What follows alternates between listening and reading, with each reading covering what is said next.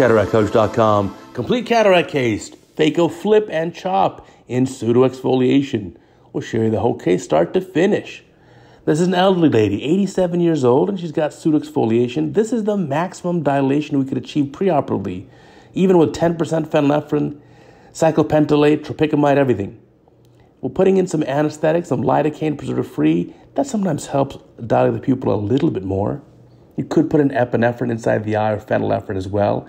I think we're pretty good. We'll use our dispersive viscoelastic to do the Osher style viscomydriasis, try to expand that pupil. Now, the viscomydriasis is a temporary thing. As we remove some of the viscoelastic from the eye, the pupil come down. But while we do the capsulorhexis, it'll be good. Making our incision here on the steep axis. We're also going to be placing a toric lens on this same steep axis. Um, going in for the capsule capsulorhexis. Now, watch carefully. Look at the capsule. Does it wrinkle? Uh, not too bad. Well, actually pretty good. So poke in, start our capsulorhexis here. If the capsule wrinkles as you try to poke into it, that's a sign of weak zonular support. Ideally, you want the zonules to have such good support that the anterior capsule is tight, like the head of a drum, very taut. So we're making our rhexis at least five millimeters. Let's adjust the light here so we can see a little bit better. We want a five millimeter or five and a half millimeter capsulorhexis. Sometimes these pseudoexfoliation patients are more prone to capsular phimosis. So complete that, complete that rhexis with a good, generous size um, opening, and that's pretty good. Now here's the trick to prolapse nucleus. Balanced salt solution, nice and easy. The key is slow and steady. There's the first wave, don't stop. A little bit more, a little bit more, a little bit more. There it is. Now it's pulled partly out of the bag, using the cannula now to lift it up even a little bit more.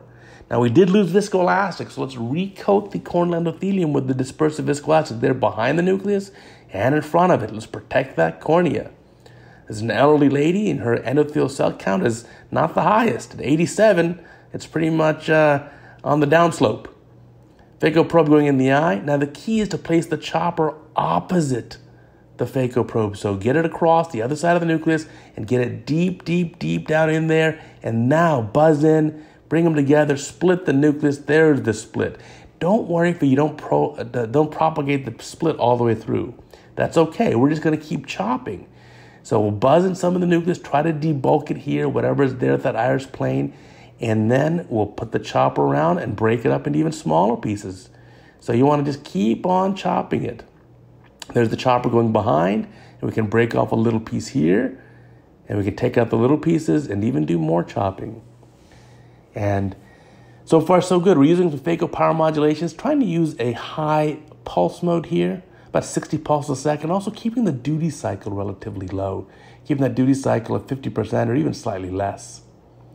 You can also use on these uh, machines, they have settings that when they sense occlusion, then they can ramp up the power. And that helps you save the higher amount of power for when the nuclear piece is already blocking the tip.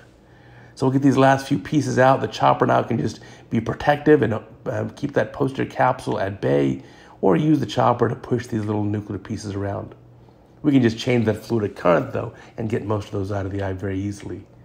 That looks pretty good. There's that last piece, a little bit of uh, energy going into it to emulsify it and looking good. Time for some cortex removal. Now, nucleus is out, that one beautifully. For the cortex removal, be careful of the zonular support. So if you inadvertently grab the capsule while you're doing this and you pull on it, you can actually damage zonular support even more. So watch where you're aspirating, make sure it's only the cortex, and also look at the capsulorhexis edge. Make sure it's not moving. And then let's clean it up. We want to clean it up as much as we can. Get off those lens epithelial cells, which may uh, predispose the eye to more phimosis. But also, this is delicate. She's 87. These tissues are weak. Let's be very cautious as well. So there's a balance. We'll do some polishing here, clean it up as best we can. There's the undersurface of the anterior capsular rim being cleaned up. But if you have a little bit of stuff left over, listen, don't sweat it. You want uh, to emphasize that difference, the delta between the before and after. And for her, treating the hyperopia and the astigmatism and the cataract, really is going to make a world of difference. Filling up our capsular bag there with the cohesive viscoelastic. You can see the marks on the cornea. Those are the marks on the steep axis. We're going to line up the toric lens with those marks. Here comes that lens. We'll deliver that into the capsular bag. Monofocal lens here. Now, did you need to put a CTR?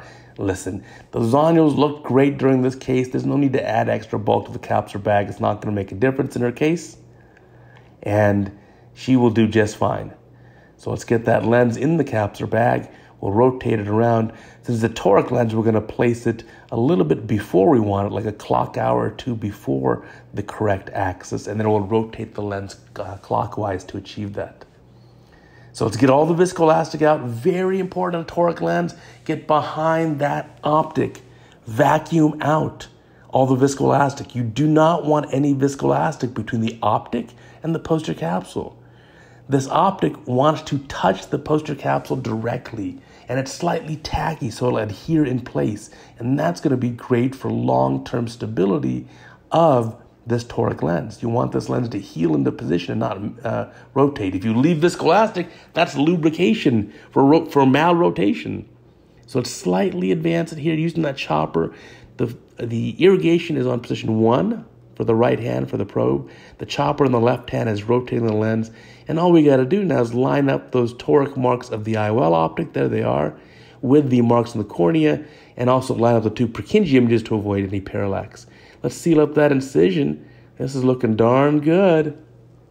Now, we have the red reflex really enhanced here. You can see some of the little vitreous opacities that are present. Don't worry about those. This is typical. We're going to clean out the angle of the eye, angle sweep there, making sure there's no retained viscoelastic. We don't want a pressure spike in the post-op period.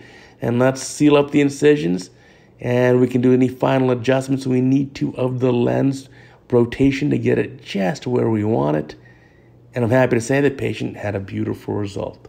So thanks for watching this case, and I trust that you'll be able to do a case just as beautiful.